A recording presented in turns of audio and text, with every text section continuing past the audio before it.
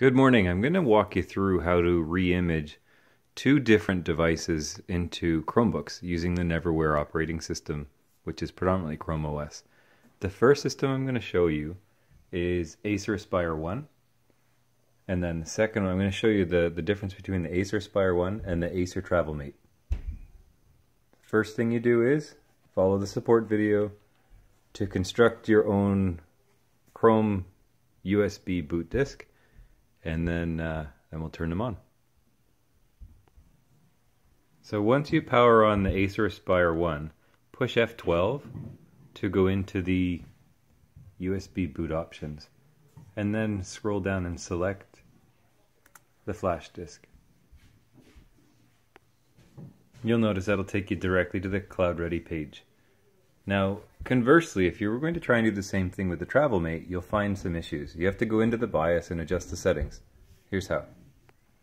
Start by pushing F2 on the boot up, and it'll take you into the BIOS settings. Unless there's an administrator password. If there is an administrator password, then you need to get a hold of that so that you can get into the BIOS settings. The next thing you need to do is you have to check the main settings and make sure that F12 is enabled, which it is, allowing you to boot from the boot disk. Also check here, you have to adjust your legacy to UEFI and you're going to need to adjust the secure boot to disabled. So in order to do that, the first thing you need to do is you'd have to set a supervisory password for your netbook. So I'm just going to set one and then I'll show you in a sec.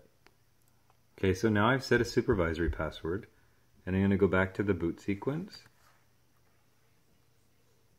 And now I can adjust my secure boot to disabled.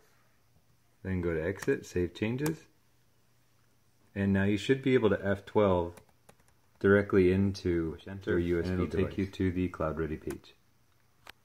Now while that BIOS adjustment is being completed, I go back over to my Acer Aspire 1 computer and it's ready to go. I need to put it onto Wi-Fi. So to do that, I just select my network and then enter my password. In the amount of time it took me to enter my password, just push continue. The TravelMate is already ready to go, so I'm just going to put that onto the network too.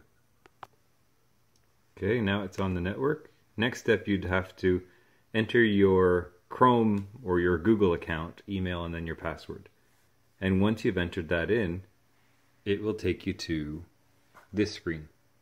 Now in this screen, it looks like there's not, not much going on. There's a Chrome icon on the bottom left, and you'll see your avatar on the bottom right. Click on your avatar on the bottom right, then select Install CloudReady, and you get a new box that pops up, Install CloudReady install CloudReady standalone, and then erase hard drive and install CloudReady. Takes about 15 minutes on average. When this is done running, the whole computer will shut down.